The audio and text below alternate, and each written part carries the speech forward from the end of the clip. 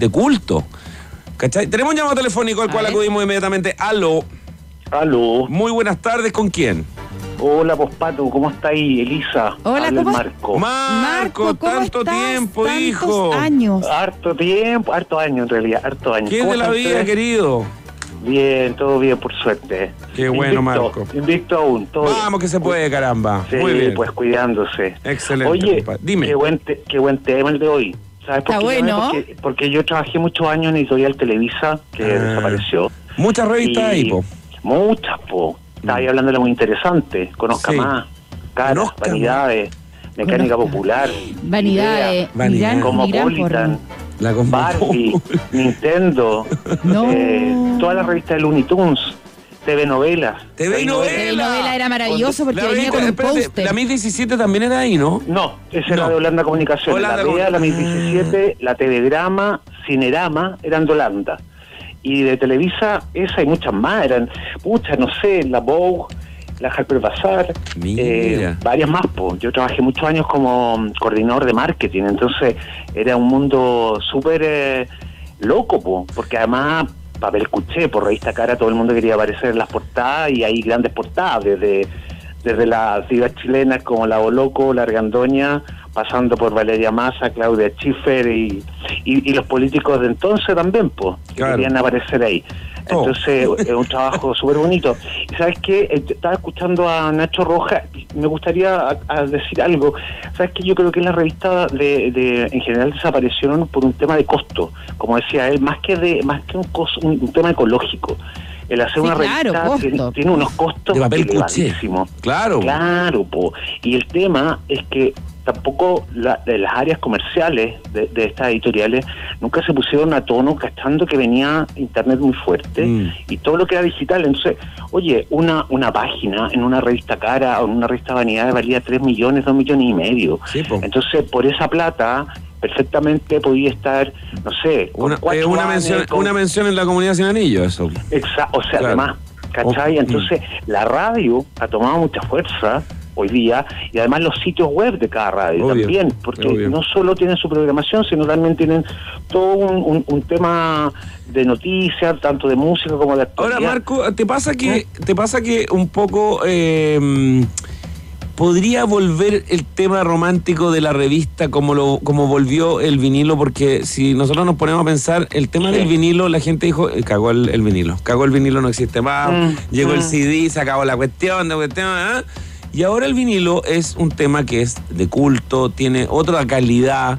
eh, de, eh, auditiva, digamos. eh, Sí, claro. Yo creo que puede perfectamente una revista buscarle como ese, esa, esa vuelta como a la parte más eh, distinta, ¿cachai? Mira, yo, yo estoy súper de acuerdo contigo y, y creo que efectivamente las revistas van a ser un- una, una pieza de culto, Estoy como de acuerdo. vinilos hoy día. Sí. Y sabéis qué, Pato, yo, yo creo que a lo mejor no va a ser una revista ni quincenal ni mensual, va a ser a lo mejor bimensual, de buena calidad y coleccionable. Para, claro, Claro. coleccionable, como... Totalmente. po. Había una, Mm. una época, ¿cómo se llamaba esa revista? Quizás tú me podías ayudar, Marcos, que, Dime. ¿cachai? Más Dale. que era...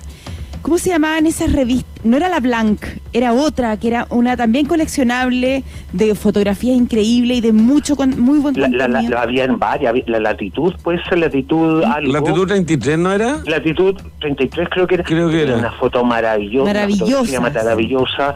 Eh, estaba, pucha, había Ah, varias otra. otras. Ah, ¿cómo se sí, llamaba? sí, por, por ahí va, era como, como de ese estilo más vanguardista. Claro, y con una foto po, increíble y como con Sí, entrevistas pues, también hay- a gente que uno no se la topa en cualquier parte, porque también, ojo que la revista, porque tú lo que hace, lo que hace eh, de manera mucho más mainstream o mucho más popular, Mm. lo que hace la revista el sábado, que tú te encontrás con entrevistados que no te topáis en otros lados, que no los aborda la noti ni el matinal, que no los aborda las noticias, que y que en las revistas te topáis con historias de gente muy bacán, ¿cachai? Mira, y que eso es una, yo- yo- una yo cosa de la, de la revista yo- eh, fundamental.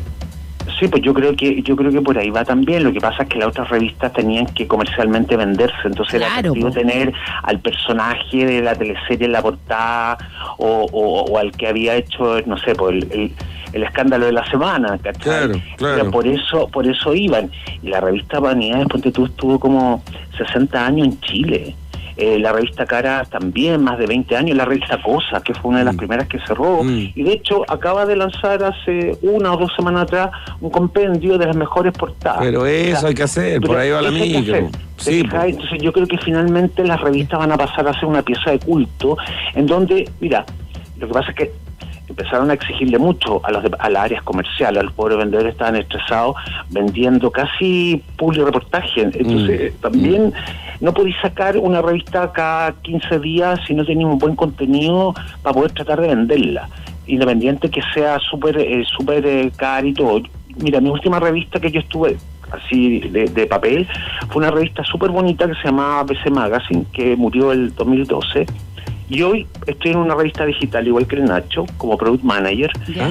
y mm, que se llama Woman Go. Así que a- arroba A ver, hagamos, Go, hagamos que le crezca al Marco, pues busquemos el tiro. ¿Está en Instagram o no? Está, está en Instagram. Ya, muy bien. arroba Eh, Woman Go. Vamos a buscar inmediatamente. Woman Go. G-O. Woman Go. Woman Go. Perdón, me están preguntando acá el Nacho Aquí está, Rojas. en español, Woman Go en español. Espérame. Exacto. Woman- Ya, ahí está el perfil. Perfecto. Échale una miradita, tiene 20.000 seguidores, así que ya pues chiquillos, Sí, pues difundimos y potenciamos el liderazgo femenino. Somos una vitrina para el área de los negocios femeninos. Mira qué buena. Es una revista de, de emprendedoras, de mujeres emprendedoras. ¿Puedes repetirlo? Woman Go en español. Exacto. En español. En español. Woman Go en Es una revista como si fuera una revista, que pasáis las páginas, no es un Qué sitio. bacán. Perfecto. Perfecto. Y Perfecto. esta revista ya va para el número 7, 6 Ya. o 7. Eh, parte hace poquito, ¿ah? así que Bueno, pues, echen- a seguirlo. una ayuda. A seguirlo y en esta en la, a la edición de final de mes viene de portada la Carolina Escobar, que es la conductora del Buenos De- Días a Todos, y la anterior portada fue la doctora Carolina Herrera, así que Ah, yo creo que hay que Muy bien. revivir un poco como esa cosa rica que tenía el leer una revista y además es una revista para mujeres emprendedoras y, y que les puede ayudar muchísimo. Muy bien. Así que Compadre, Buenísimo. excelente, muy buen dato. Ahí, eh, Woman Go en español para que la gente lo siga. Y Marquitos, qué bueno que apareció. Le mandamos un gran abrazo, hijo. Oye, sí, un abrazo. Un abrazo. También, Feider, muchas gracias y eh, lo escucho igual todos los días. Muchas gracias, Oye, Feider me pregunta, Marco, para cerrar, Marco, eh, eh, Feider me pregunta que qué opinas de que el pato salga pilucho en Insta Ego Ego. con la tocha. Hoy. Pura mentira.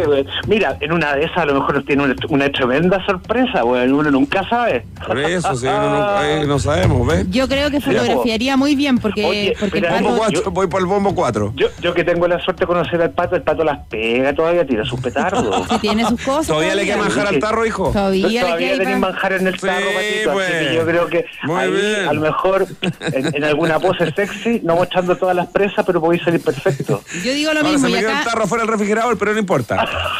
Marquitos, querido, un abrazo Oye, grande. Un abrazo para ustedes, gracias. Gracias, mi. Abrazo. Chao, chao. Chao, chao. Chao.